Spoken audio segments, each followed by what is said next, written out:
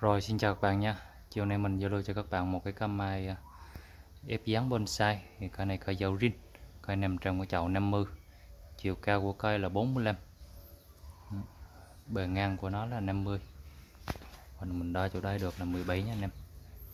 Ừ. dưới này là nó dít à, mình không có đo được. Mình đo chỉ được chỗ đoạn này thôi đoạn hở này thôi là 17 dưới này nó rơi tầm 19 20 anh em.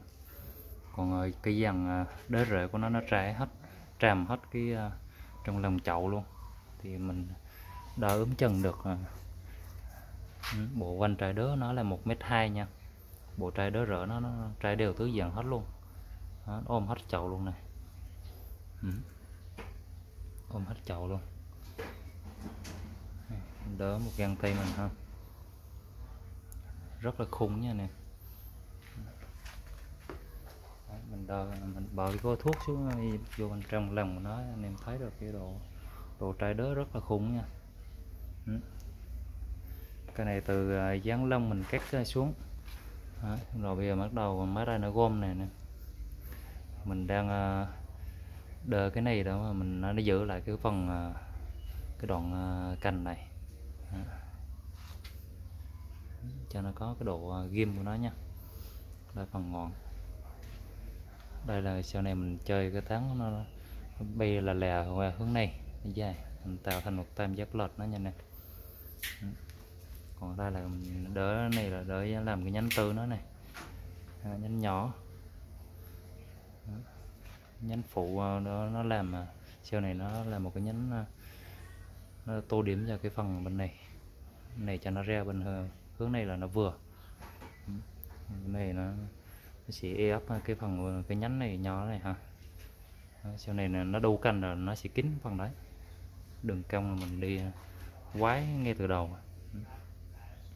Nó có độ mượt của nó. Rồi hiện tại thì cái cây này thì mình à, bán như bán à, cây mai nuôi à, đơn thuần. Cho anh em ha.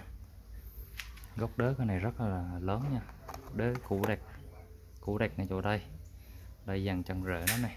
Chân rễ nó chỗ đây như nó to hơn cái ngón chân cái mình á đó, thì anh em cứ hình dung nha. Đó rễ nó trai rất là đẹp. Cây dầu rin nha anh em. Dầu rin độc lệ đó đây là phần bên trên nó này không? Rất lớn nha. Rồi anh em nào thiện chí giao lưu kênh này liên hệ mình nha. Số điện thoại mình là 0849 020790 nha anh em. Đó. có cành rơi. Đó. cành phong với lại là cái phần này mình, sau này mình dẫn ngọn lên thêm này nè cho đây nó kín Cho đây nó bị quá cho đây nó có một cái cành, rồi mình lách ngọn lên. Nó có kín hết nha anh em. Phần chân của nó là ok hết rồi.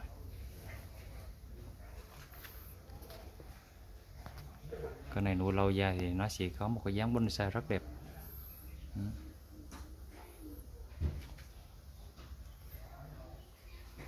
Cụ Đấy, nó đẹp từ cụ đớ thoát thân cho tới các tay cành mình có ý tưởng như thế thì anh em nào có hợp gu thì liên hệ. Rồi xin chào nha anh em.